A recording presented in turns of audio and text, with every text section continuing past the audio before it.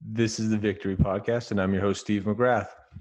Welcome back, everyone. This week, I am pleased from my new studio, which I got to work on the lighting in the background a little bit. But from my new studio, I am pleased to bring you this week's guest. It is Mr. Josh Hull, a man who, after his four year career in the NFL, went on to get his MBA and found Contend Consulting which he gives you his contact information. So if you stick around to the end of the podcast, you can figure out how to reach him. But Josh spent five years at Penn State. He was a walk on playing linebacker with the likes of Paul Posluszny, NaVorro Bowman, Sean Lee. And this man went from maybe never even getting on the field to being a starter and getting drafted. His story is one of the coolest. I'm so happy that he took the time to break it down for us. But before we get into the meat of that, you know I have to remind you guys that we're brought to you by TeamBuildr. And TeamBuildr provides strength and conditioning software to more than 500 high school football programs nationwide, as well as the NFL. So whether you write your own programs, you have a full-time strength coach, or you need training programs, TeamBuildr can make your weight room more efficient, more accountable, and smarter when it comes to measuring your team's progress. So go to teambuildr.com, use the promo code VICTORY, and you're going to get a nice, cool gift. Now, without any further ado, here is our conversation with Josh Hull.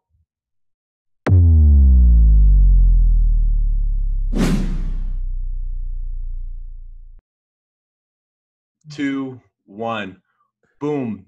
On the line, we have Josh Hull. Josh, how are you doing tonight, man? I'm doing good, gentlemen. How are you guys doing tonight? Good, good. Appreciate you joining us. Yeah, awesome. Now, we were talking off air before we started here about Penn State and the glory days. And from your time there, 2005 to 2009, I don't know if there was a better five year period in Penn State history. You know, you, you start off being number one, bad years, you guys were ranked number 25, and then you finish your career there with, you know, two great seasons. Uh, you, you were ranked like number eight, you know, just a, a two loss year, both years. When you, when you look back, right, it, I don't think you could have imagined it could have gone any better. But you were also so close, so close, so many times to being that number one team. I mean, when you just look at your overall experience at Penn State and the success you had there, you know, what are your thoughts about what that was like? Yeah, it was uh, it was second to none to be able to go up there and play in front of 110,000 people every single week, uh, to get coached by arguably the best coach in college football, Coach Paterno um, and play with with five star recruits every single day. I was uh, I was a walk on coming out of high school, so it was uh, it was a stretch for me to even be able to step foot on the field. And when I was finally able to kind of crack that, that lineup, it was a major breakthrough for myself and just.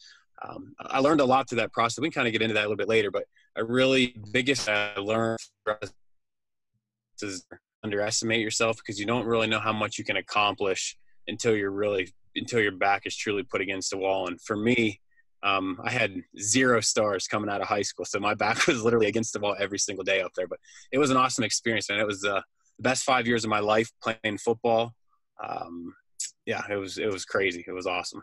You hit the nail right on the head with you know you're you're pretty much a local guy. I don't know how far you were from Happy Valley in high school, but can you just walk us through what that decision was like? Where you wanted to go to school? Did Penn State give you any sort of promise? Like you're a preferred walk on? Like how did that all come together for you? Yeah, I just uh, I literally just got goosebumps so every time somebody asks me that question.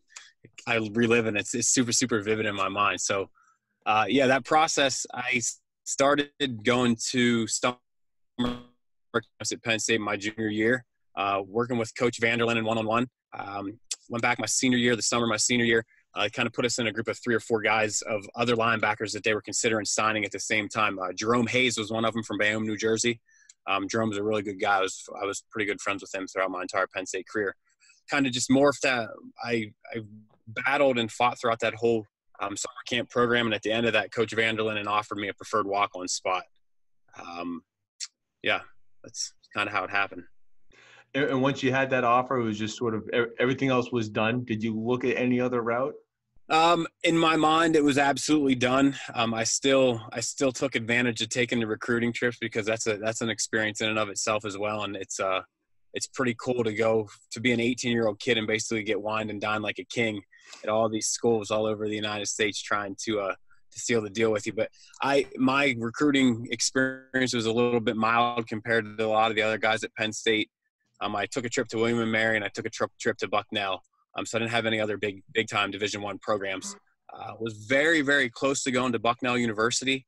Um, and this is this is a story I like to share every time I talk about this because it kind of lit a, uh, a fire underneath me for my future success. So we go through this whole process and meet with all the coaches, and you have lobster and steak dinners, and you go into the locker room and they have a Bucknell jersey with my last name on it, and they're making all these empty promises just like every other coach does to a to a high schooler. Uh, the final, the last day, I think it was like a Saturday when the trip was wrapping up. Uh, my mom and dad were with me. The coach comes out to me and said, "Josh." he said, I, I, will never forget these words the rest of my life. These are words that kind of, they've stuck with me my entire life. Um, he said, Josh, you can come to Bucknell and make a, you can make an impact immediately. You'll come in here and probably start as a freshman. You'll pay four years and have an opportunity to play a lot of football. Um, he said, I understand that you're also considering going to Penn State. Is that, is that true, young man? I said, yeah, absolutely. I, w- I would love to go to Penn State. It's in my backyard there. They're definitely on my list. He's like, but I can tell you one thing. Uh, if you go up to Penn State, you're going to be a very small fish in a very large sea. And that kind of that coach had the audacity to say it to me. I kind of looked at my dad, and my dad kind of looked at me, and we didn't have to say a single word, but we were on the same, we were on the exact same page. And I couldn't, I couldn't tell you one word that that coach told me after that phrase came out of his mouth because I completely shut every, everything out. And I, I knew for a fact I was not going to Bucknell University. Yeah, as a competitor, you have to shut that off, right? Because you can't let that get in your brain. Because if yeah. you know, especially as a recruiting coach, that's probably the worst thing you could tell a kid too is when you're trying to get them to go there. Absolutely, and you you hit the you struck a nail right on the head there with, with the competition portion of it. I, the type of person I am, I mean, competition is knitted in my thread and who I am as a person. So to go somewhere and not have to compete for a starting position was completely foreign to me, mm-hmm. um, and it was something that I did not want to entertain. Um, I wanted to go to Penn State and compete with the best kids in the nation every single day, and it essentially turned me into the best football player that I could possibly be at the college level because I had to elevate my play uh, on a day to day basis just to hang with these guys uh, in in seven on seven drills and summer workouts. Every single thing that I did, um, I could never let my guard down because everybody I was competing was competing against was bigger than me and faster than me. Yeah, what's the term? Iron sharpening iron, right? It's just good Absolutely. against good, and you're not. Yeah, you're not going in there expecting anything. You're going into the work. So yeah, that is an interesting story that, especially from a recruiting standpoint, that they just tell you that because usually I, you feel the kid out, right? It's like, all right, this kid's a competitor. I want him to come in and compete. This kid, yeah. sometimes you have to be like, hey, you'll start, you'll get a spot, and they'll right. a fire up under him. So I'm shocked he wasn't able to feel you out a little bit and tell you the things you wanted to hear, not what you didn't want to hear. Right. I've told this story enough times. I know one of these days that coach is going to call me and apologize. I'm waiting for it. That's why I'm, I'm just saying I want to keep telling this story as much as I can because I, I know one of these days my phone's going to ring. I'm going to get an email and say, hey, man, I really made a big mistake and congratulations on the career that you had because you did pretty good. oh, man. Well, challenge accepted. Let's get this out there. uh, no, iron sharpens iron. You've talked about it, but just a couple names NaVorro Bowman, Sean Lee, Paul Posluszny. I'm pretty sure Penn State has always been linebacker U, but I mean, like you played in just the perfect era of just absolute savages on the field, and you're part of that great tradition.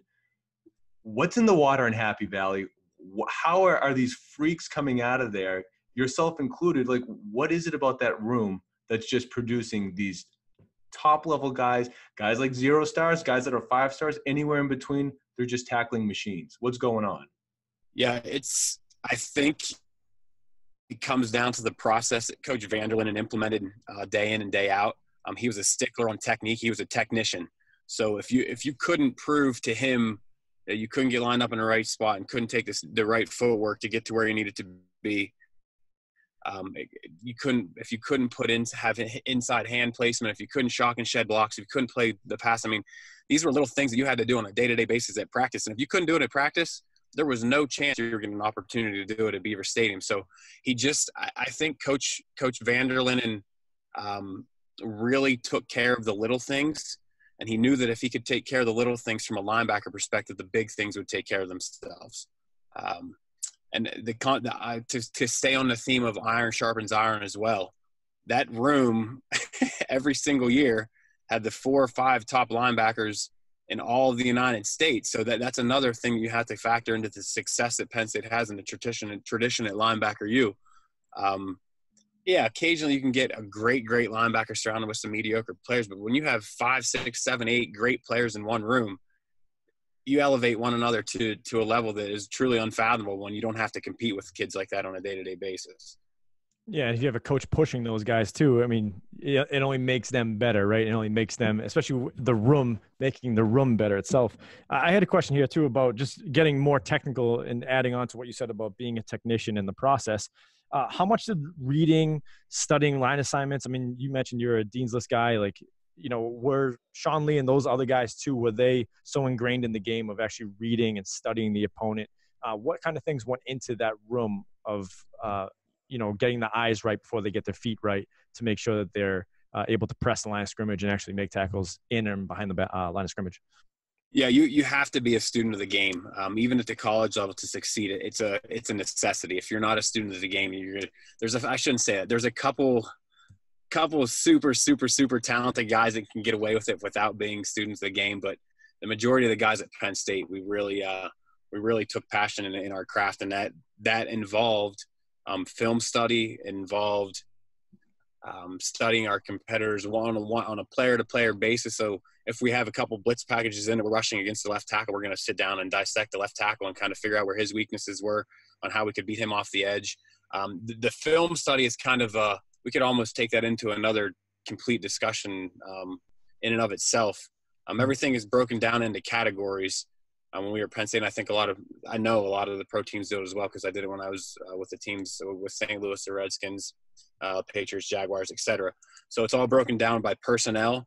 Um, each each offensive formation has a personnel grouping, and then it's also broken down by down and distance, and it's broken down by um, locations on the field. So you could literally go through um, our film platform and our film software and choose specific situations, locations on the field, down distance, and personnel groupings, and that's kind of how we watched and dissected film. So at any point on the field, if it was a third down, if it was a third and long situation, and you knew you were on the opponent's 30 yard line, your mind would just rack during the game. All right, here's the here's the, some of the formations that they run, and here's the pass patterns that came out of it. So it just allowed you to play a lot faster when you got on um, got onto the field, and that was something for me. Um, there was a major learning curve for me from going from high school to college, and that was the film study portion of it really didn't start to click to my junior and senior year. I was so concerned about just learning the scheme of the defense and worrying about where I needed to be lined up that the film study, I still did film study at the young age, but I wasn't really able to use that as an advantage in a game till my junior and senior year when everything started to slow down a little bit for me.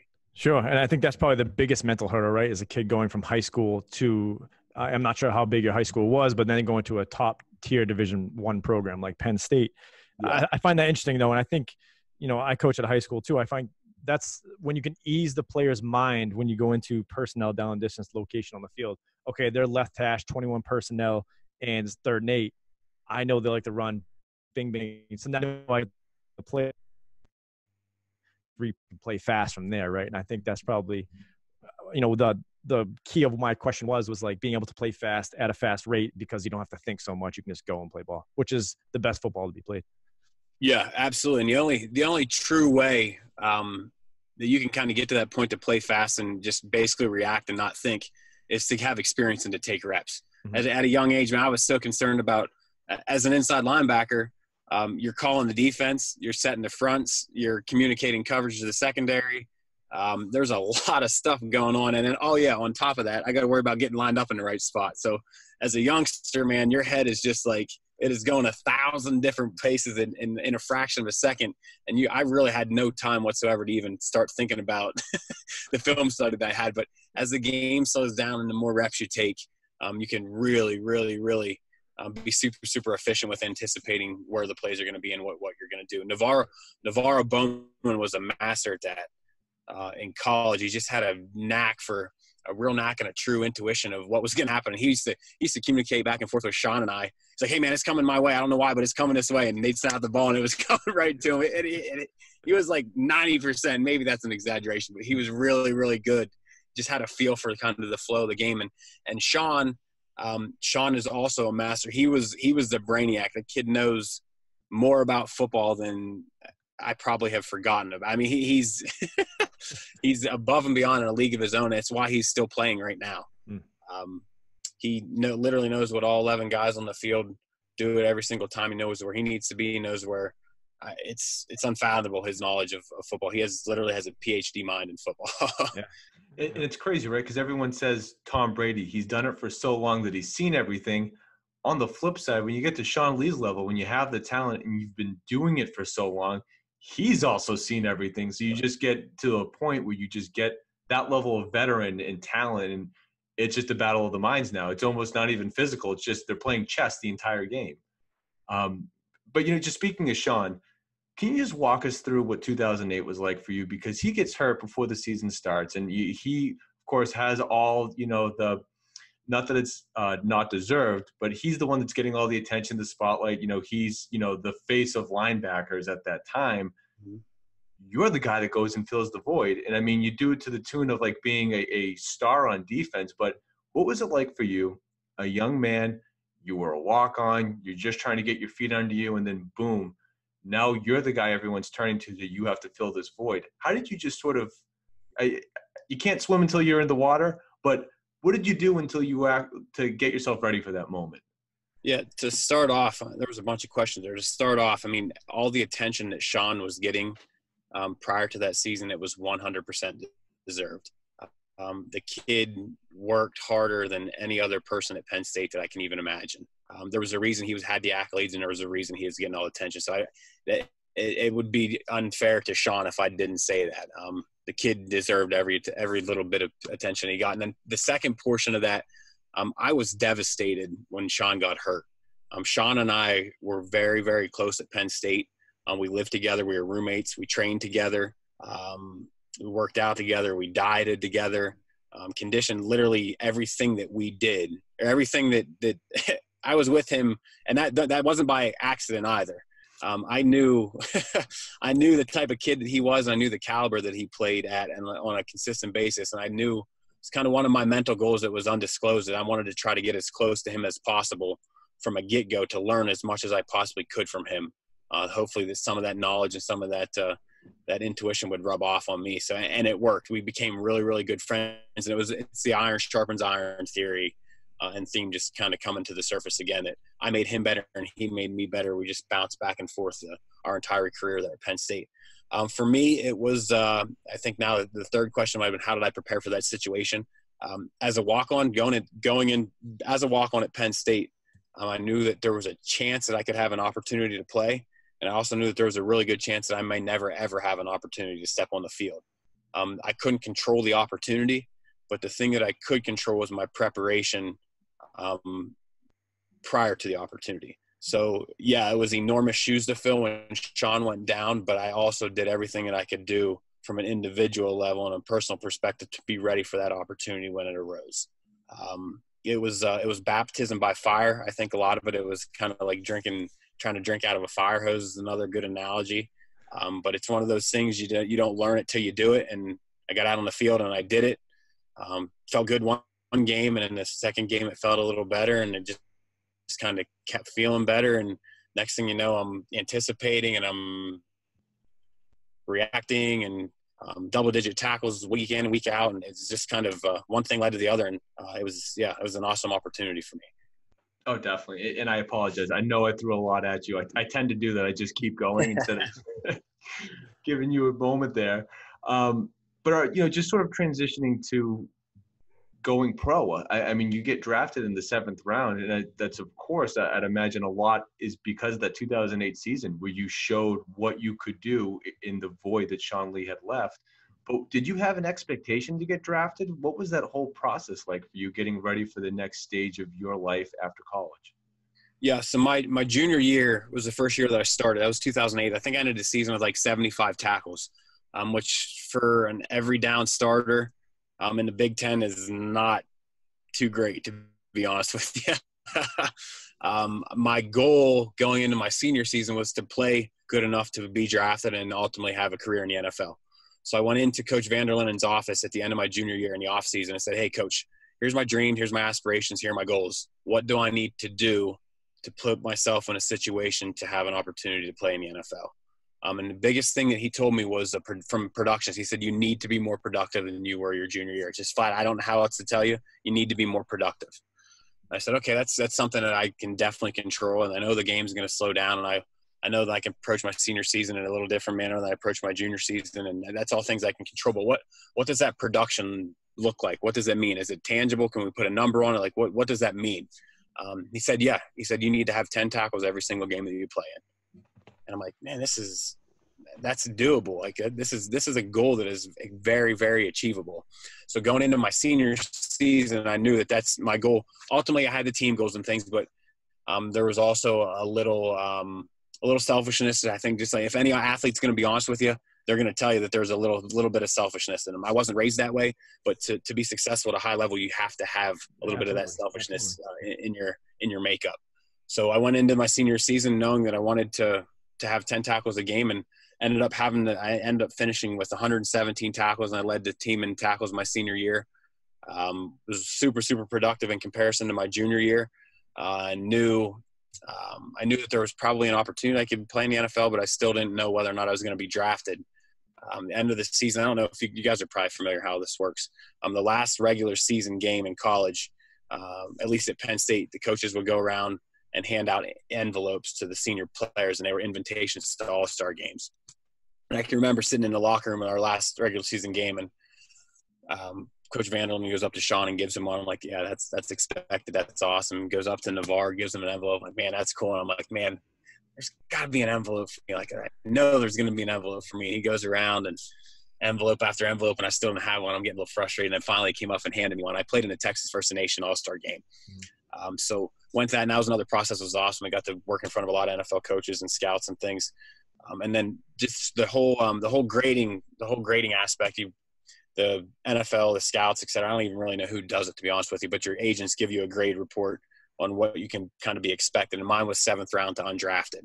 Uh, so I knew that there was maybe a chance I could get drafted. Um, real good likelihood that I wasn't going to be drafted, um, but just uh, just finished the Texas versus the Nation All Star game. All Star game. I went to New Jersey and trained for nine weeks, and then got an invite to go to the combine and and and went from there. Got it. Now, of course, you do go to the Rams. Uh, Steve Spagnuolo is the coach. You know, Josh McDaniels, who ultimately great career um, ahead of him in Spagnuolo as well. But I mean, at the time, the Rams didn't have everything they needed, right? Even though there's a lot of good players there, a lot of good coaches, they don't necessarily have the on-field success that you probably had on some level got accustomed to at Penn State. What was it about, you know, a leveling up your game yet again, right? Iron sharpens iron at a new level where you're playing with the best in the world, but also how does the team chemistry now differ where it's that without winning, there's probably a little bit of a toll on the players' emotions and that grind of the season probably just gets a little bit more difficult. Yeah. Um, so how do I elevate my play again? It was another uh, another Sean Lee story, but this time it wasn't Sean Lee. This time it was James Laurinaitis. And it, it, boded pretty well for me. um, the first day I got, first day I stepped foot at uh, at the Rams organization, kind of surveying the team, and I knew, I mean, I knew who was there, but I, I really wanted to kind of open my radar up and identify the one or two guys that really approach it like a consummate pro that did absolutely everything everything right, um, from film study to diet to taking care of your body to work habit to ethics to I mean you run a guy I had a checklist of, of a person I was looking for that kind of fit this bill, and within a week of being there, um, James Laurinaitis was the guy that fit the bill to a T. Um, and I buddied up with him the same way that I buddied up with Sean, kind of tucked, tucked myself underneath his wing as much as I could. Uh, followed him everywhere he went, um, did everything that he did, and guys used to give me a hard time about it, but I was completely cool with that because I was getting, I had an opportunity to learn from one of the best in the business there as well. So um, that uh, I used the same strategy in St. Louis as I did at Penn State, and it worked pretty well for me. smart, right? Yeah, um, smart. The yeah, the the chemistry in the locker room uh, from the college to the NFL level, even without removing winning and losing from it, the the dynamic is completely different. Uh, there's 53 spots to available on an active roster, and all those 53 guys know that any other any other person in the team in the preseason is trying to take their spot. So they're very very apprehensive and reluctant to kind of help you out if you're a rookie who has an opportunity to kind of threaten what they've already established. So that that whole dynamic was something I never really experienced in a college locker room. Um, it's everywhere in the NFL. It's not just in St. Louis. Every team has it. Um, so that that was kind of kind of learn the guys you can trust, and you kind of learn the guys that you can't. Um, hold on to the ones that you can trust, and kind of just let the ones you can't trust go. I mean, it, it is what it is. It's very, very, very uh, trans. Um, not transparent, not the word, but um, so that in, that individualism you were talking about before about worrying about personal goals in college was more for just your accolades, but now you go to the NFL and now it's amplified a little bit more where guys are really focusing on them, them, them, and also the team. But it's more just to stay employed and to stay on a team. It's a livelihood. Um, they have wives, girlfriends, kids, families, etc. that they need to provide for at home, and in the college setting, you don't have that. Yeah, um, so it's that dynamic is different. It's I love it. Now with I'm, I'm painting a pretty harsh picture.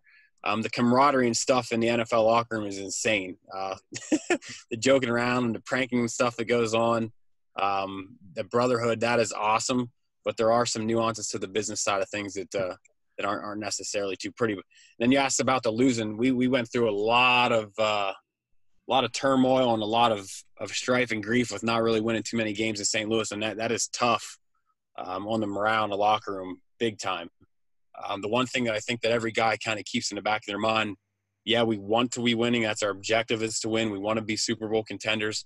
At the end of the day, we're still getting paid to play our best. So um, at the high school level, I think kids that aren't as dedicated can kind of check succumb out. to losing in the way that yeah. feels and just check out. But yeah. Yeah. Uh, in the NFL, even the teams that win one one game a season or don't win any games this season, the guys for the most part are still tuned in because it's at the end of the day, the only thing you have at the end in the NFL is a signature on your work, and it's so hard to make a team that the last thing you're going to do is go out on a Sunday and not perform at your best because if you do that on a on a consistent basis, you're not going to be performing at all because there's not going to be a place for you. Mm-hmm. For sure. Yeah. And in your defense, we've had a lot of guys come on and paint a very similar picture about the business side of the NFL and how for a lot of guys, not that it necessarily caught them off guard, but on some level, it kind of takes the fun out of the game because it's just different. There's just this new element that has to be considered. And for guys, and uh, you know, I've going back to when we had Cedric Benson on, he felt like the business side of it really kind of tarnished his ability to have the NFL career that he wanted. And I'm sure that there's plenty of guys out there that feel on some level the same thing. Um, and I don't, we haven't even talked about the rest of your career. I don't know how you feel necessarily about how your time ends with St. Louis and then going to Washington and the, the stints with the Pats and the Jags.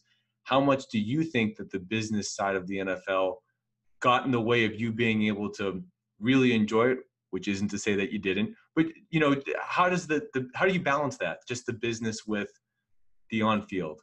Yeah, um, I I enjoyed every single snap in the NFL that I ever took. I think about it every single day, and I will probably think about playing football in the NFL every day till I'm no longer here. Um, something I don't take for granted. Uh, I, I, cherish it. I worked very, very hard to get that opportunity.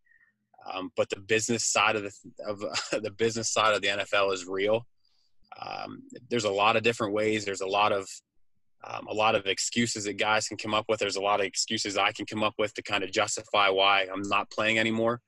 Um, I went through that path just like I think almost every other guy that's ever gotten cut in their life has gone down through. I'm out of that now. Um, at the end of the day, now looking back, the business side of things absolutely had something to do, I think, with getting cut from every team. Uh, but at the end of the day, it could have been. Uh, I'm not so naive to not um, accept the fact that maybe I wasn't fast enough anymore. Um, maybe I wasn't smart enough. Maybe I wasn't strong enough. Maybe I wasn't productive enough. There's a whole checklist of things that, that kind of go through your mind to try to figure out why I'm not playing football anymore. And the poor thing about it, um, a lot of guys, me included, you never get that closure because you don't have NFL coaches sit you down and say, hey, son, boom, boom, boom, boom, this is why you got cut. It doesn't happen that way. Um, I got cut in St. Louis, literally sat in a team meeting at the end of the preseason. Coach Fisher congratulated the entire squad on making a 53 man roster. And I'm going down through counting the heads in the squad. I counted 54. I'm like, you got to. I, I counted wrong. 52, 53, 54, 54 again. I'm like, okay, now let me go into the linebacker room. I knew we usually keep six or seven linebackers. I count six, seven, eight, nine. I'm like, you got to be kidding me. So six, seven, eight, nine. I'm like, I think there's one more linebacker than what there should be. And I know there's one more guy in this room than, than, than there is allowed. I'm like, there's a chance. Like, yeah, I'm excited. I just heard Coach Fisher congratulate everybody in the room who made the team, but there's a real legitimate chance that I'm going to be the guy that's cut. Um, go back to the locker room, sit down. Uh, strength coach taps me on the shoulder, like, you got to go talk to Coach Fisher. I'm like, uh, you've got to be kidding me. So that that's that's the business side of it right there. I got the taste now. Me, just like I said prior to this, trying to justify it. Um, they kept two young rookie linebackers that year. Um, very talented guys. I was going into my fourth season. Um, their salary combined was close to what I was making alone. So that's a way to maybe it was a two for one deal. Yeah. Uh, I don't know, man. There's there's all these maybes, and I I I try not to fill my mental space with that anymore because there's nothing good that ever comes from it. I did it for, I filled my mind with those questions for two years um, after the NFL was over, and it was brutal. It was miserable. Uh, turned me into a person I didn't want to be, and I just kind of try to remove all that negative energy out of my out of my mind now. So, and, and you know what? I I want to get to what it's like getting past the negative energy, but to fully take this down to as low as we can before we can take it in another direction. I, I do want to ask because you you did open up uh, with the trust with part of the NFLPA, and you know you talked about. I, I have a quote right here that you know this void made you feel angry, frustrated, confused, and I mean, what or how did you sort of take a step back and find a way to get past that? Because uh, you just described that it's not easy to be in this place and how to come to terms with what you're being dealt but ultimately you did. And how did you do it? How did you sort of just come to accept it and figure out what the next step was? Yeah that was um that was the lowest point in my life. I was 20 I try to think probably 24 25 years old.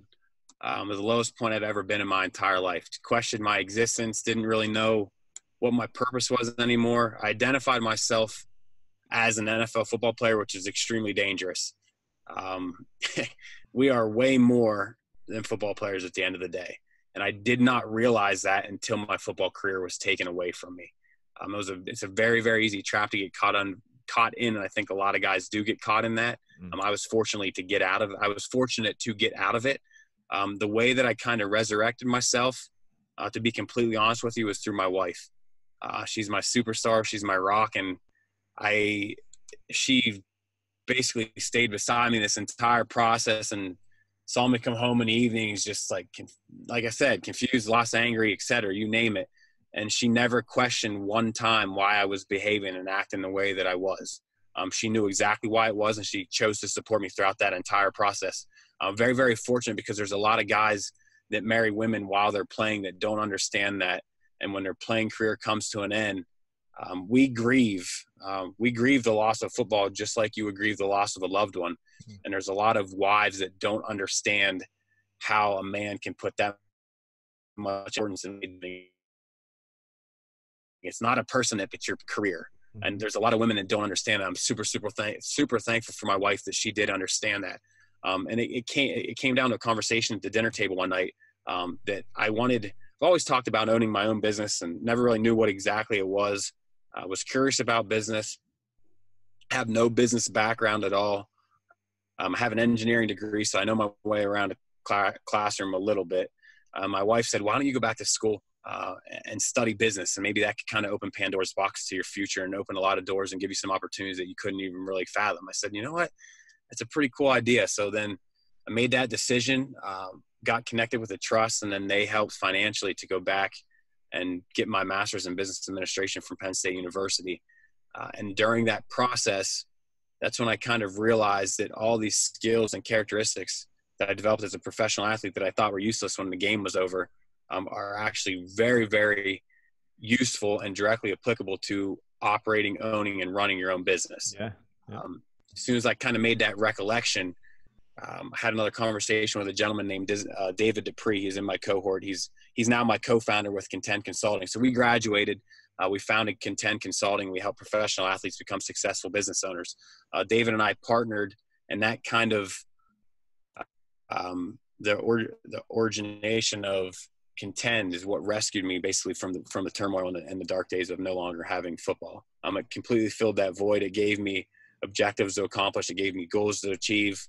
Um, it, it's uh, it also this is something I've just kind of realized just lately that it allows me to stay very very close to the game of football because I'm dealing with professional football players, which I love. It, it kind of brings a little bit of that camaraderie from the locker room uh, to my to my off to my desk every single day while I'm working because I get to interact with these guys on a day to day basis. So it's it's it's I can't even begin to express my thanks and gratitude for the trust for giving me the opportunity because it essentially by going through the trust and, and earning my MBA, um, it opened a door to a future that I never would imagine without the help of the trust.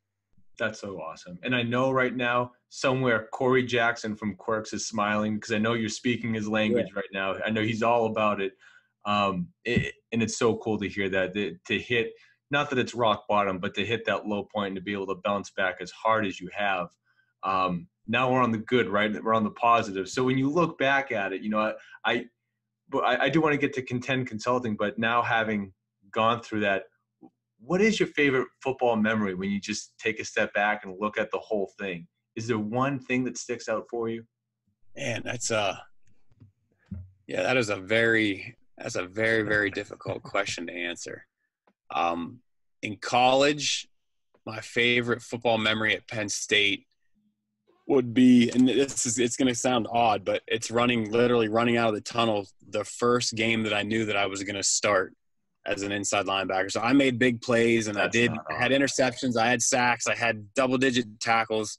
Um, I won the Big Ten championship, played in a Rose Bowl. I mean, the list of the accolades go on and on and on. But the moment it felt so different. Like I ran through the tunnel a thousand, uh, not a thousand times, multiple times before that, knowing that I was going to play, but not as a starting linebacker, man. Then when I threw there as a starting linebacker, it was a completely different feeling that I'll never ever forget uh, my entire life. Now, the NFL on the NFL side of things, it was uh, it was getting getting the phone call my rookie year saying that I made the 53 man roster. Hmm. Um, that was a triumph in and of itself for me. A, a seventh round guy who was always going to be on the cusp, always trying to break it through. That was kind of like um, reassurance, not necessarily reassurance, but I guess maybe it could have been that that it was justification that you are good enough to play in this league. Mm-hmm. Um, you proved it to 52 other guys. You proved it to an entire coaching staff. Um, go for it. It's it's it's yours to do whatever you want with it now. So it's yeah, it was that was that's the two. It's kind of probably not the answers you guys were expecting because it's not specific plays, but no, it's emotional. Um, yeah, emotional emotional things that that I'll always hold on to you know, there might be one or two guys that have ever said a specific play.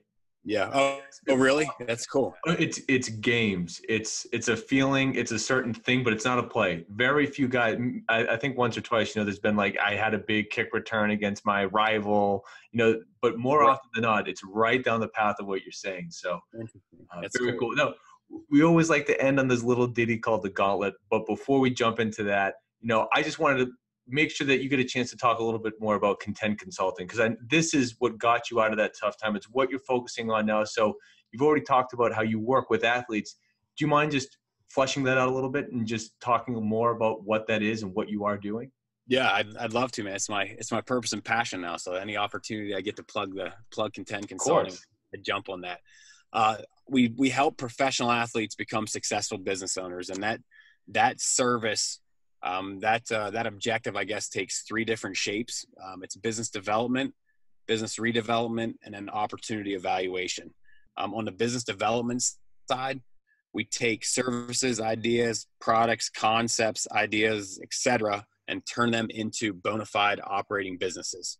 Um, and, and, what that looks like, it's literally taking the hand of professional athletes, um, men and women of all sports, not just football, any professional sport um, will take their hand and walk them through every single step that's involved with uh, with starting their business. So it's uh, it's incorporation, um, it's strategic development, it's partnership creation, it's creating formal business plans, uh, it's discussing financing, it's pro formas, uh, financial projections, literally anything that an entrepreneur is going to come across uh, throughout their entrepreneur careers, things that will help these athletes with business redevelopment uh, is situations where athletes have existing businesses that aren't necessarily performing how they expect them to, or it could be a, situation where they've identified a new market. Uh, they're not necessarily quite sure how to penetrate it and they need some help um, strategically in figuring out how they want to get into, get into a new market. So that takes a shape of basically um, consulting. Any any other consulting firm that, that's our consulting practices. We'll go in and uh, do a complete strategic shakedown. Um, we'll look at the value chain. Uh, we'll look at process analysis. Uh, and basically make strategic recommendations on how to increase their top line, their bottom line, uh, and then we make sure we, we develop strategic um, plans and initiatives to tackle the new markets, et cetera. And then the third, the third service is opportunity evaluation, where we've developed a, a proprietary system. It's called the True Match system that evaluates investments on five different levels. And we also evaluate our athletes on the same five levels, and we'll cross correlate that evaluation to determine whether or not uh, a financial investment makes sense for the specific athlete that we're working with. Um, if it doesn't make sense, then we'll, we offer suggestions and advice on how to improve uh, improve the opportunity to make it a little bit more viable for them. Very cool. Uh, I yeah. think that MBA definitely opened up some doors, huh? Yeah, for sure. All right. Well, as alluded to, we have the gauntlet. So, Josh, I know we're running a little over here. Let me just hit you with a couple quick fire questions. You got to let me know what your knee jerk reaction. What's most yeah. important, the number one offense or number one defense? Number one defense. All right. As a linebacker now, you could only be in the three four or the four three. Which one you taking? What position are you playing? four three inside linebacker. I had a feeling that one was coming. Yes, sir. Now, was there ever one player or one coach that you just wish you had the chance to play with? Um, boy, this is supposed to be rapid fire.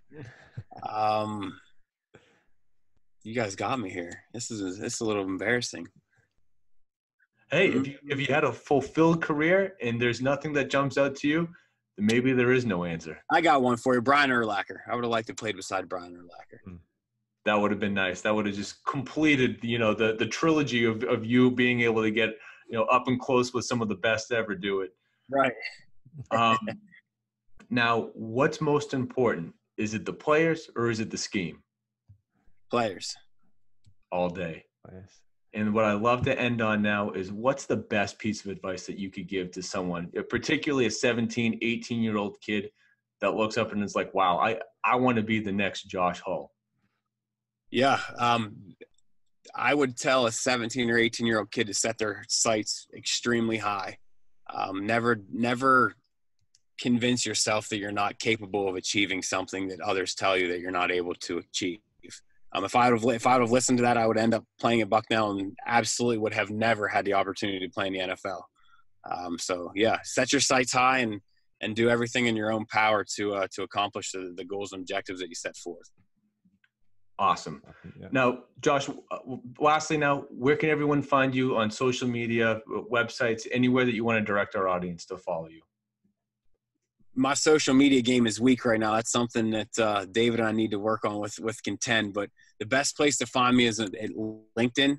Um, Josh Hull is my personal profile, and Contend, Contend Consulting LLC um, has a, has a web page as well on LinkedIn. Um, our our email address for Contend is www.team.com,